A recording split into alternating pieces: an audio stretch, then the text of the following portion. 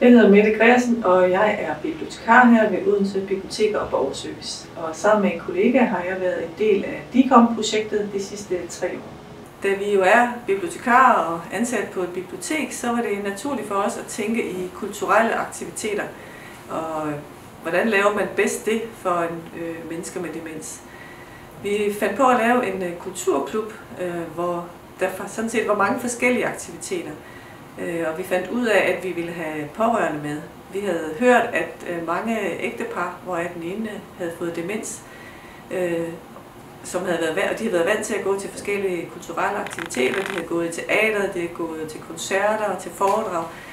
Det magtede de ikke mere, fordi øh, den person, der havde fået demens, øh, ikke brød sig om eller ikke øh, kunne overskue at være i større forsamlinger.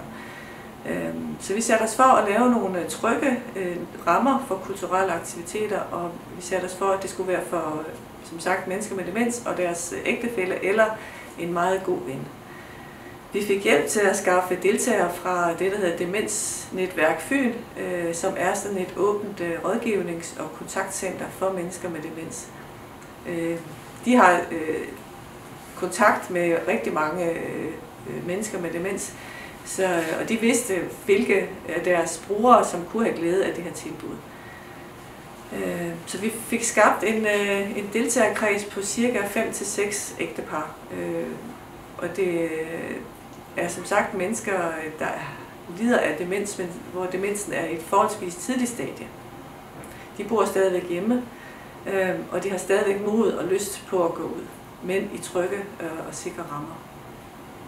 Efter hver arrangement øh, slutter vi altid af med en kop kaffe, øh, fordi det er ikke kun det at være ude og opleve noget sammen, det er også formålet med vores kulturklub har også været at øh, facilitere fællesskaber mellem, mellem de her par, som kan rådgive og, og vejlede hinanden, hvis der er behov for det.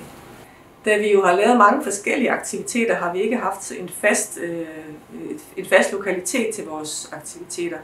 I starten brugte vi øh, Demensværkets øh, lokaler, fordi vi tænkte, at dem, dem var brugerne eller deltagerne fortrolige med.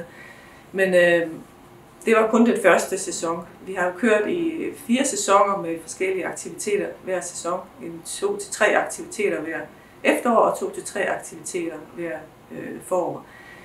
Øh, da vi så løb ind i øh, corona-epidemien, øh, blev vi nødsat til at finde på en anden måde at gøre tingene på, og det betød, at vi øh, faktisk har mødtes udendørs rigtig mange gange, og det har egentlig været en stor succes. Øh, både at, at få noget motion og gå en tur, og samtidig øh, have en guide med, som fortalte os øh, forskellige ting. Øh, blandt andet har vi hørt om Odense Havns udvikling, vi har hørt om bylivet gennem tiderne, vi har gået en tur langs Odense Å og hørt om øh, byens udvikling i forhold til åen. Så, øhm, så det har været mange forskellige lokaliteter, vi har brugt. En af de mange fordele ved øh, både at have øh, en person med demens og vedkommendes øh, pårørende, det har jo også været, at, at de to sammen kunne genopfriske eller genopleve øh, den aktivitet, de har været ude til. Så vi har ikke haft brug for at udlevere øh, materialer, øh, som ligesom kunne øh, minde om, hvad er det, vi har været ude og opleve, fordi vi har haft den pårørende, som, som kunne være med til at, og, øh, at erindre øh, den der aktivitet, de har deltaget i. Det eneste, hvor vi har behov for øh, måske at uddele noget, bruge et, et materiale, det har været, når der har været noget øh, digtoplæsning for eksempel. At der har det været rart, at det erfarede vi, at det var rart at have materialet på tryk samtidig med, at det blev læst højt, fordi så kunne man bedre øh, koncentrere sig. Øh, de aktiviteter, vi har haft i Kulturklubben, har ikke været øh, med specielle emner eller øh, specielle hensyn sådan set. Det har været aktiviteter, som nogen har været kopieret fra bibliotekets øvrige tilbud. Vi har bare tilrettelagt dem i et forum, hvor der ikke har været så mange. Vi synes, at syv ægtepar cirka er maks antal deltagere. Øhm, Øh, og man skal også sørge for, at der er sådan rimelig øh, roligt omkring aktiviteten. Vi har været ude for at drikke kaffe i en café, hvor øh, nogle af deltagerne har spurgt, om ikke man kunne få slukket for musikken, fordi der skal ikke så meget til, at man bliver øh, forvirret eller træt i sit hoved, og ikke kan koncentrere sig om at, at være øh, til stede. Men øh, ellers har vi ikke brugt nogle øh, særlige øh, metoder. Vi har været to kollegaer, som har øh, kørt det her, den her kulturklub, og vi har været meget øh, opmærksom på at deltage begge to alle gangene, øh, når det har kunnet lade sig gøre.